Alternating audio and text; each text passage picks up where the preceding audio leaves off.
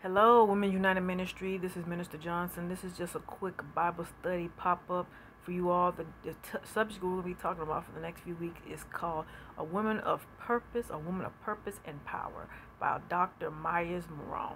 So we're going to go ahead and read the devotion and get into the scriptures. We'll be reading Psalms 51, verse 13, 2 Peter chapter 1, verse 3 and 11. God's good idea. God designed the woman not as an afterthought, but as a narrow part of his plan of creation. He created her in his love and with particular care. Her uniqueness is a reflection of God's purpose and design for her. Do you understand how special you are? Adam has not even imagined the woman, but God had her particularly in mind. In Genesis chapter 2, verse 18, the Lord said, It is not good for, the man to be alone. I will make a helper suitable for him, which is the New International Version. In essence, Adam was fumbling around in the bushes, thinking up animals' names, seeing verses 19 and 20, and God said, This is not good. This man needs help. So it, it was God who said that the man and the woman. You are you are God's very good idea and his unique creation. God's mind thought of you and God's spirit brought you into being. You are the result of his ideas that you make you're very valuable to him. God's specific place the woman in the Garden of Eden along with the man. In Genesis chapter 3, verse 8, we read that God walked in the garden in the cool of the day in order to meet with Adam and Eve. The garden represents humility, relationship with God, and the place of fellowship. You can't be the kind of woman you are supposed to be if you are outside of God any more than a man can be anything outside of God. Any woman who is outside of relationship with the Lord is a dangerous woman, just as a man who is outside of relationship with the Lord is dangerous. You can be who you were created to be. Fulfill the purpose you were meant to fulfill only as long as you remain in the garden of fellowship with God. Therefore, you can't become all the people intent for you as a woman of purpose and power unless you are continuing in fellowship with Him.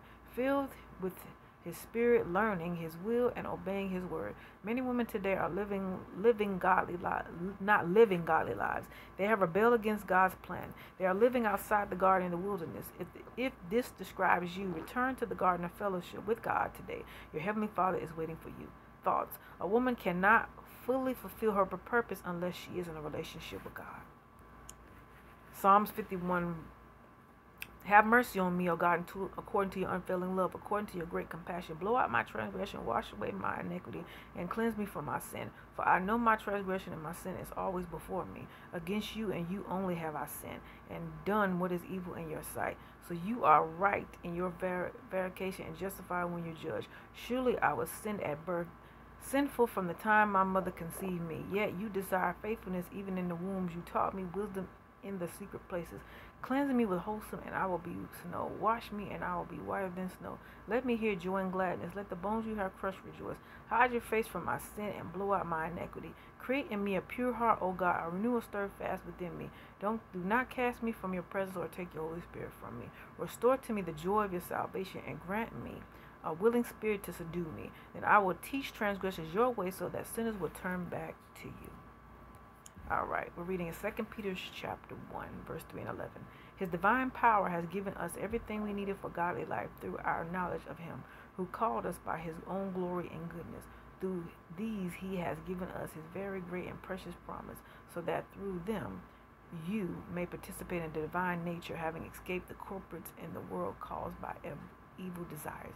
For this very reason, every excuse me, make every effort to add to your faithful goodness and goodness and knowledge, and to knowledge of self control, and to self control preserve, and to preserve godliness, and to godliness mutual affection, to mutual affection love. For if you possess these qualities in increasing measures, they will keep you from being effective and unproductive in your knowledge of our Lord Jesus Christ.